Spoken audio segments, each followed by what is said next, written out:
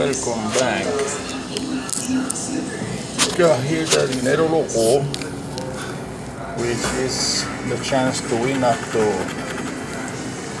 up to two thousand dollars. But I am not lucky guy.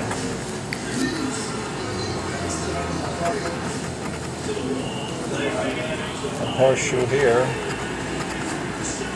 cherry, a banana,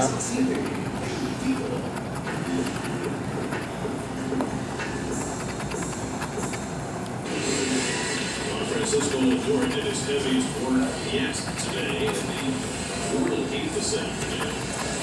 Did some hitting, did a lot of fielding, did some running. Carried it in, back from the right side, I think it was. uh-huh. Certain down, if that makes sense, with the oblique injury. Um, He wants to come directly back to the Mets without a rehab assignment. Don't know if that's going to be possible after the amount of time that he will have missed by the time he's ready to go. Oh, We'll oh, He's a ball player, put him out there. But now both Lindor and Oh, uh, on the injured list. That's one thought that Baez was going to get better quicker lonely dollar. hip slash back issue that sidelined him over the weekend. One lonely dollar. so they put him on the list today. Hitting appearance kind of hurt him, right? That means they can't back down beyond that. Oh, J.D. Davis will lead off for the Mets in the home second. J.D. under the radar. had a great two lonely dollar. oh no. No, no, no, no. Series against Washington. They can really use a hot streak from J.D.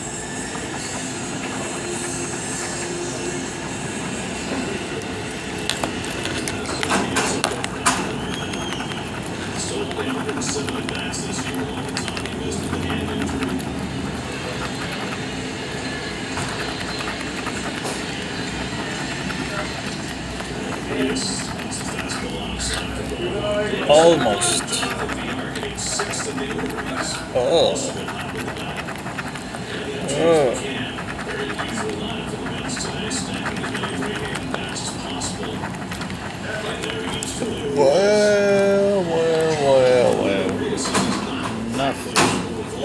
I'm tired. See you guys.